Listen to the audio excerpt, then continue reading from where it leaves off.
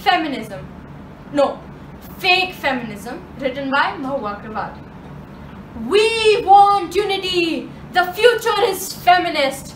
These are sentences we hear very often. But do they really define the truth? Telling someone when you have something, isn't that insecurity? This is definitely not what is called purity.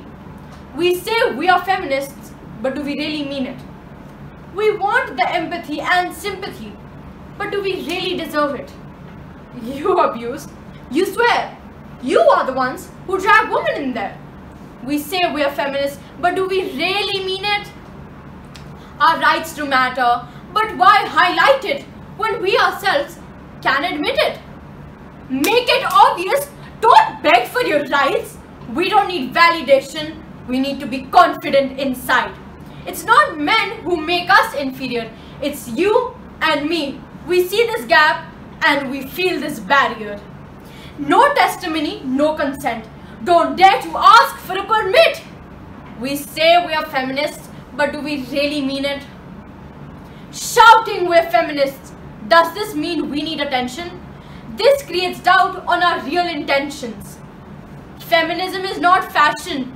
Don't wear it on your t-shirt. It is in your mind. Clear of this nasty dirt. By raising your placards, you say you want to stand up for yourself. But is it all just an act to make yourself look brave, bold, and strong? Have you ever heard maleism? What even is that? You might wonder. It's not a real word and it does not exist. You say men have freedom and it persists. What about you? Do you even try?